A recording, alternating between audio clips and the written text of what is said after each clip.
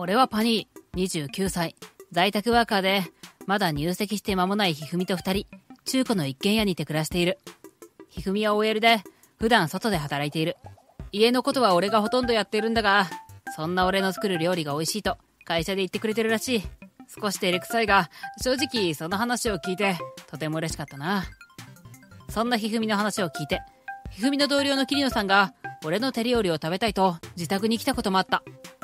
桐野さんは、ひふみより20歳以上年上の女性だ。ひふみがいる職場は男女ともに平均年齢が比較的高めだった。ほんと、どの料理も美味しい。この肉じゃがなんて高級料亭で食べる料理くらい美味しいわよ。ありがとうございます。けど、高級料亭だなんて、いいのかなそこまで言っていただいて。だって本当に美味しいんだもの。明日会社のみんなに、ひふみさんの旦那さんは本当に料理上手だったって言って回らないと。聞いてよ、パニー。桐野さんは、うちの職場で、歩くゴシップ誌って言われてるのよ。歩くゴシップ誌噂話が大好きなのよ。ねえ、桐野さん。翌日、桐野さんが職場で、俺の料理がいかに美味しかったか言って回ったらしく、ひふみが、他の同僚たちもパニーの手料理を食べたがってる。また職場の人に手料理を振る舞ってほしいと言ってきた。ところが、その前にひふみが急遽、数ヶ月の出張に行くことが決まった。なので、ひふみの職場の人たちをうちに招くのは、出張が終わってからということになったのだが、事件はそれから起こったのだ。ひふみが出張に行ってからしばらく、俺たち夫婦は毎日連絡を取り合っていた。新婚の俺たちは本当にラブラブだったんだよな。しかし、数週間が経過した頃、仕事が忙しくなってきた、と、ひふみが俺からの LINE にあまり返事をしなくなった。俺からの連絡に返事ができなくなるくらい忙しいのかと、ひふみの体調が心配になった俺。ひふみが休日であろう、週末の昼前に、電話をかけてみた。うーん、もしもし？どうやらひふみは眠っていたらしい。むにゃむにゃとした声色で、俺からの電話に出た。ああ、ごめん。起こしちゃったね。昨日も寝るの遅かったの本当に忙しいんだな。あまり無理しすぎもいけないよ。体大事にしてね。ありがとう。パニーはほんと優しいのね。パニーのこと私、心から愛してるわよ。あと、その時だ。電話の向こうで LINE の着信音が聞こえてきた。ひふみが持っているスマホは1台だけのはずなのだが。あ、もしかして誰か一緒にいる？え？あ、いや、あ、えっとあ、こっちの職場でスマホをもう一台持たされてて。ああ、なるほど。じゃあ俺との電話を切っていいよ。仕事の連絡なんだろ。また後でかけ直すし。そう言って俺は電話を切った。ただ、切った後で、なんだか妙に違和感を抱いてしまった。ひふみ、少し焦ってなかったか？ほんの些細な違和感だったので、その後、特にこのことに関して、ひふみを問い詰めることはなかった。しかし、それからさらに数週間が経ったある土曜日、俺の妹のパニコから電話がかかってきた。実はパニコは、ひふみの出張先の割と近所で、一人で暮らしている。ああ、もしもしパニー？実は、言いづらいというか、実際私の勘違いかもしれないんだけど、一応話しておいた方がいいのかなと思って。パニコの歯切れが悪いので、何があったんだろうと、俺が小首をかしげていると。ひふみさんに似た人が、男の人と手をつないで電車降りていくのを見た気がして。は？一瞬見ただけだったから、本当にひふみさんだったかどうかはちょっとわからないし、追いかけようとも思ったけど、私も急ぎの用があったから、その時電車を降りるわけにいかなくて。俺の頭の中は真っ白になってしまった。前にも言ったが、俺とひふみは新婚ほやほやで、ラブラブなんだ。いや、ラブラブだと思うんだが、最近連絡の頻度が極端に減っているのも事実。それに、そうだ、先日ひふみに電話した時に、電話の向こうから LINE の着信音が聞こえてきた時のことだが、こっちの職場で持たされてるスマホが鳴ったのだとひふみは言っていたけれど、もし、それがひふみのついた嘘で、そばに男がいたんだとしたら、あ、いやいやいや、ひふみに限って、そんなことがあるわけないじゃないか。何にせよ、本人にちゃんと確かめた方がいいかもしれないね。うん、そうだな。そして俺は電話を切った。しかし、本人にちゃんと確かめるって、なんて聞いたらいいんだ？何よりひふみが不倫だなんて考えただけで辛くて信じたくない。そうだ、なんて聞いたらわからないなら、抜き打ちでひふみの出張先のマンションへ行けばいいんじゃないのか？本当にひふみが俺と連絡ができないくらい仕事が忙しいのであれば、久しぶりに栄養たっぷりの飯でも作って食べさせてあげたいし。俺は早速荷造りを開始。新幹線に乗ってひふみの出張先のマンションに夜に到着した。ただ、ひふみは不在で、外から見ても電気がついている様子がない。最初は部屋のドアの前でひふみの帰りを待っていたのだが、通りすがりの人が俺をいぶかしげな眼差しで見てくる。確かに、こんなところに男が突っ立っていたら、不審者かストーカーだと思うよな。ということで俺は、マンションの玄関の外で、ひふみを待っていることにした。1時間ほど経った頃だろうか。遠くから聞き覚えのある笑い声がした。ひ、ひふみ？ひふみは見知らぬ男の腕に自分の腕を絡ませて楽しそうに笑っていた。ひふみが不倫していたのは本当のことだった。相当ショックだったし、ひふみが今まで平気な顔して俺に嘘をつき、裏切っていたことに対して、かなりの怒りがこみ上げてきた。俺はとっさに物陰に隠れ、スマホでひふみと不倫相手の男の姿を動画に収めた。後で外からひふみの部屋の電気がついたのを確認してから、ひふみの部屋に突撃し、二人に動画を突きつけ、慰謝料を踏んだくってやろうと思ったのだ。今ここで俺が姿を現し、二人を怒鳴りつけるのもいいだろう。しかしそれでは、不倫相手の男に走って逃げられてしまうかもしれないからな。で、俺が動画を撮ってる最中に。あれ？旦那から LINE が入ってる。今どこで何してるの？だって。ちょっと待って。返信しなくちゃ。そう。俺はさっき、ひふみが部屋にいないと分かった時点で、LINE を送信していた。旦那には仕事が忙しいから頻繁に返事できないって言ってるんだけど、前あんたが横で眠ってる時、あんたのスマホが鳴っちゃったでしょ？旦那が私に電話してきた時、あん時は心臓が止まるかと思ったわ。やっぱり、あの電話の時に鳴っていたのは、不倫相手のスマホだったんだ。うちの旦那、私のこと大好きだから、まさか不倫してるなんて思ってないはずだけど、念のためにね。うちの旦那使い勝手めっちゃいいのよ。家事やってくれるし、手料理プロ並みだし、別れたくはないんだわ。じゃ、使い勝手がいい、だと？え？じゃあ俺はお前のなんだって？自分だって私のこと遊びのくせに、出張の間だけ。ほら、私職場にいる男がみんなおじいちゃんだから、何年も男と遊んでなくて、退屈だったのよ。えーと、LINE、LINE。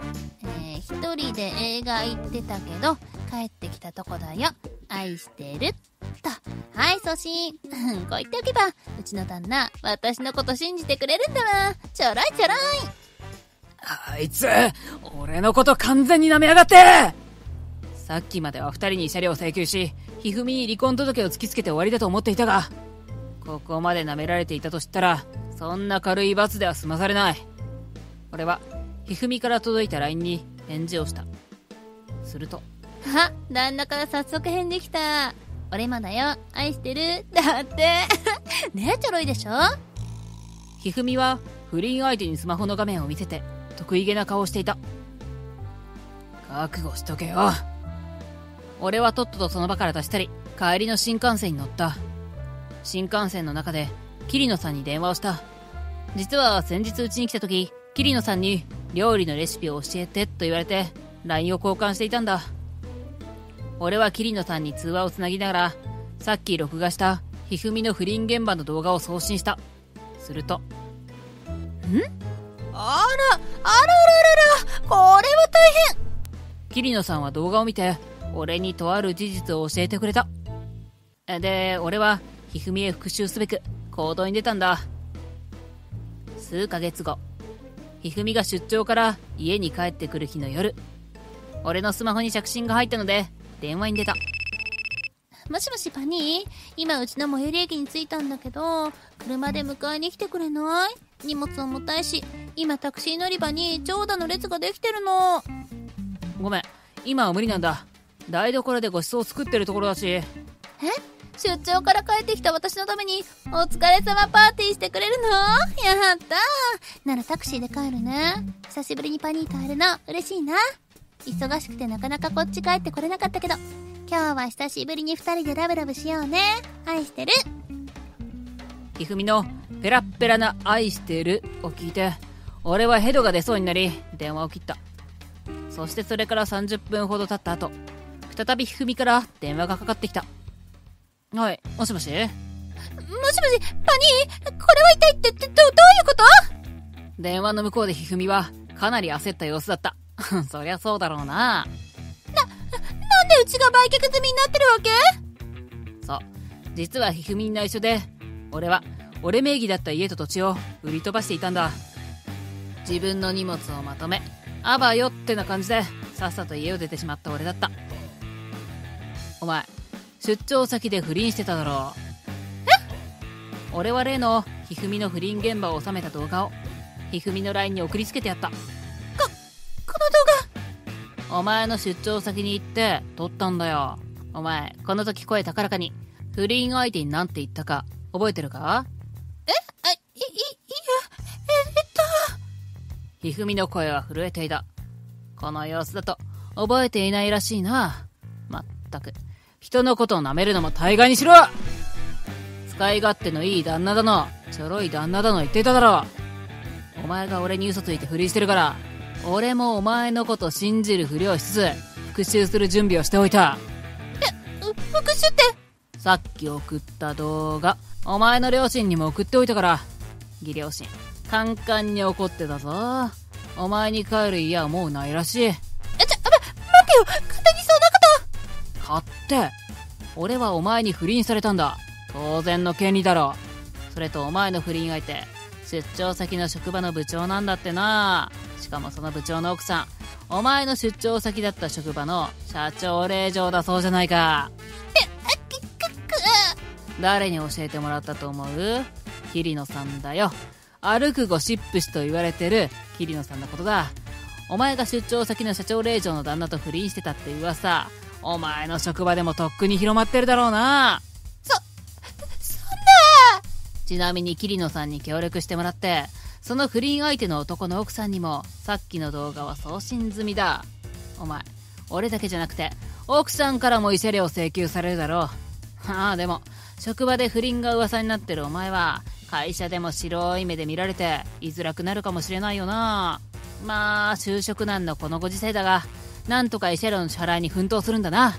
ち、ち、違うのよ、パニーあ？あ、あ、あ、遊びだったの私が本当に愛してるのはパニーだけなの。お願い信じて。家も仕事もなくして家族にまで頼れないなんて。私この先一人でなんて生きていけ。自業自得だろ。ああそうだ。離婚届は義両親に渡しておいた。義両親はお前に多額の慰謝料を支払わせることを約束してくれたよ。お前が逃げられないように。今日売却済みの俺たちの家だった場所に行ってお前を回収し金を作らせると俺に言っていたけどあとその時だった。おお父さんお母さん？お宣言通り。義両親がひふみを回収しに行ったみたいだな。そして。二人とも誤解なのよ。私は不倫なんて。今更言い訳は通用しないって？今から企業会社で慰謝料の分の金を借りに行くぞって。えちなみに実家の資金はもうまたがせないって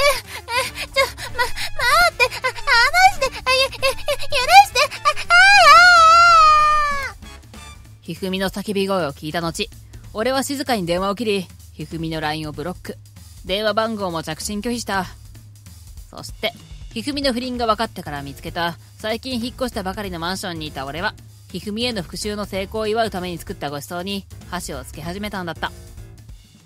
その後、ひふみや義両親によって金融会社で多額の借金を作らされた。義両親の働きにより、俺と不倫相手の男の奥さんに多めに慰謝料が支払われた。ひふみと不倫していた男とその奥さんも当然離婚し、俺と奥さんもその男から慰謝料を分取った。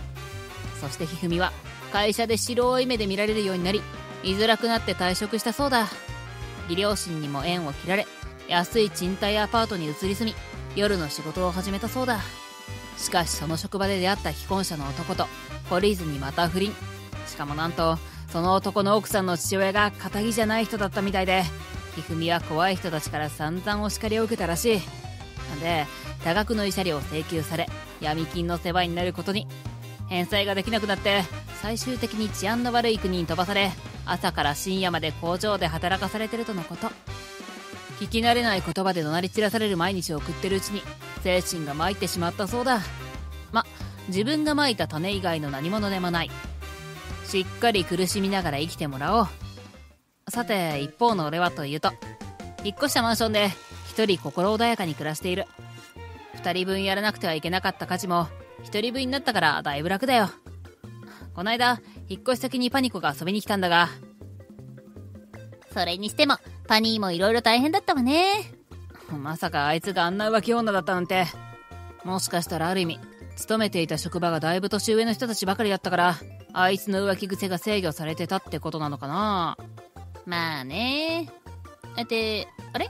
この段ボールのお野菜どうしたの？ああパニコが来るちょっと前に届いたんだよ。例の桐野さんって人から。普段料理のレシピいろいろ教えてくれるからって。そうだ。お礼の電話しないと。えー、っと。もしもし？はいもしもし。ああ桐野さん。お野菜うちに届きました。ごちそうさまです。桐野さんにはその説もいろいろ協力していただきあら、いいのよ。こちらこそ、いつもレシピを教えていただいてお世話になってます。うちの主人、最近お前、料理の腕が上がったんじゃないか、なんて言ってくれるんですよ。これからもいろいろ教えてもらえるかしら。ええ、もちろんですよ。パニーの手料理、本当に美味しいもんな。このオムライスも最高。私も後で、パニーに料理のレシピ、いろいろ教えてもらおっと。いしし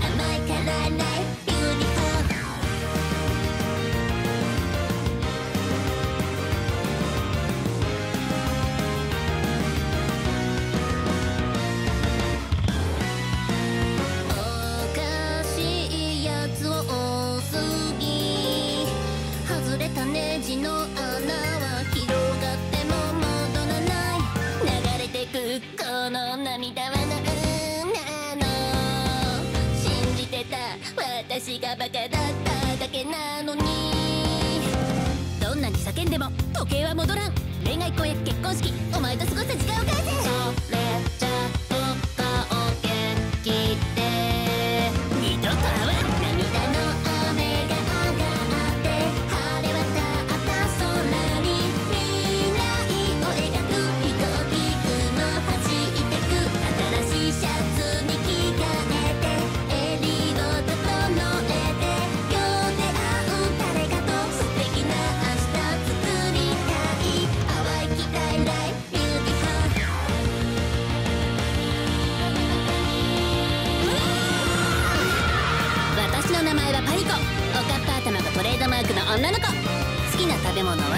プリンだよ。おっとあんなところにドキュンを発見。